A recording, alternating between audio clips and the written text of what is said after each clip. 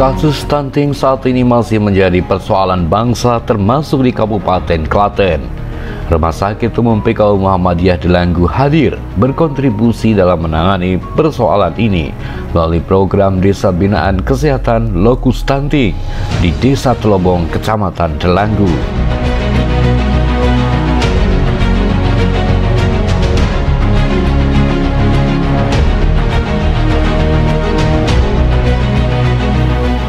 Berdasarkan data dari Dinas Kesehatan Kabupaten Klaten, angka stunting di Kota Bersinar tahun 2020 tercatat 10,3 persen dan tahun 2021 turun menjadi 8,8 persen. Namun, pada bulan Februari 2022 tercatat menunjukkan kenaikan menjadi 9,26 persen. Direktur Umum Rumah Sakit Umum PKU Muhammadiyah Delanggu, Dr. Alfa Putri Deswari mengungkapkan, bentuk komitmen pemerintah Kabupaten Klaten menurutnya telah dilakukan dalam penurunan stunting, yakni dengan menetapkan peraturan daerah nomor 6 tahun 2020. Upaya pencegahan dan penanggulangan stunting di Klaten tentunya bukan hanya tugas Pemkap semata, namun menjadi tugas bersama tak terkecuali dari Rumah Sakit PKU Muhammadiyah Delanggu.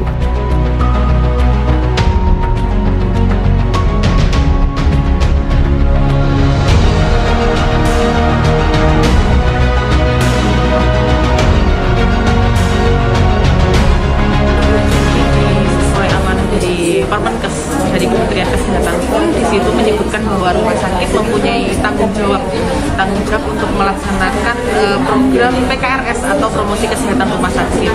Nah, program PKSR PKRS tersebut itu mulai dari uh, komunikasi, informasi, edukasi dan program pemberdayaan masyarakat. Selain itu juga di Kabupaten Klaten sendiri itu ada perda yang menyebutkan kita sebagai pelaku usaha juga untuk uh, ada tanggung jawab sosial atau CSR uh, kepada masyarakat atau lingkungan di sekitar Rumah Sakit Umum PKU Muhammadiyah. Outputnya nanti dengan desa binaan ini apa blok stunting? Blok stunting kita harapannya nanti bisa meningkatkan, mempercepat uh, penanganan stunting di desa Telopong ini. Dan, dan tadi disebutkan ada empat mungkin ada empat anak yang dia mengalami stunting. Harapannya kita uh, bisa mempercepat pemulihan atau penyembuhannya. Dan uh, ada pencegahan juga upaya pencegahan agar tidak terjadi stunting lagi di desa Telopong. Kalau untuk pembinaannya karena memang desa Telopong ini sudah ditunjuk nih menjadi desa lokus stunting oleh BKKBN, nanti kita ada 13 kegiatan, 13 kegiatan yang akan kita pihaki uh, dari PKU Delanggu sebagai bentuk CSR itu nanti ada kelas ibu hamil, pengadaan jabat dan lain-lain. Ada 13 program yang akan dilaksanakan di Desa Telobong sebagai desa binaan ini seperti kelas bumil, rembuk stunting, balita gizi kurang, penyuluhan KIA, kampanye ASI eksklusif, posyandu remaja, pengelolaan kebun gizi, peningkatan kapasitas kader posyandu, pengadaan jamban keluarga, bak pilah sampah, uji kualitas air, rumah desa sehat, dan pelatihan guru PAUD.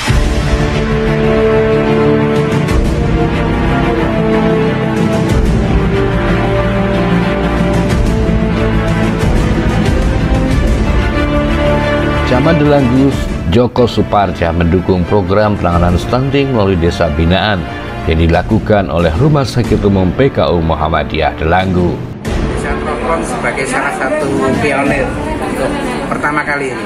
Nanti ke depannya keterlibatan PKU sangat kami harapkan Bu ya. Kemudian uh, stunting itu lebih banyak ke gaya hidup, Mas. ke gaya hidup. Oleh karena itu kita akan sosialisasi sosialisasi kepada kepada apa ibu-ibu muda ibu-ibu muda yang punya anak kecil itu. Hanya kita yang agak repot itu forum sosialisasinya. Sekarang posyandu itu bukan sama ibunya tapi sama mbahnya sama pembantunya. Tetapi kita tidak putus sekarang di sini yeah. kita akan akan akan selalu cari kesempatan untuk sampai informasi pesan kita kepada mereka empat empat balita ya balita. tersebar di berapa RW tiga RW sejauh ini apa yang dilakukan pemerintah desa Pak untuk penanganan empat orang itu Pak? kita uh, meningkatkan untuk kebutuhan gizi pak kita PMT ya? Iya, kita Rutin ya? kita di ke situ kita setiap hari kita kasih ke rumahnya untuk pak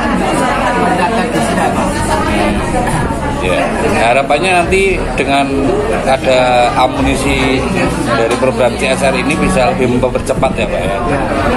sangat berterima kasih, sangat mengapresiasi apa yang sudah dilakukan dari dinas eh, dari PKA Kabupaten Belanggu dan harapan apa yang sudah dilaksanakan ini bisa dimaksimalkan kerjasama yang baik antara mereka mau yang diranggu dengan bisa teropong sehingga bisa mengentaskan stuntingnya dan diranggu, di terobong diranggu ini serta bisa mencegah ke.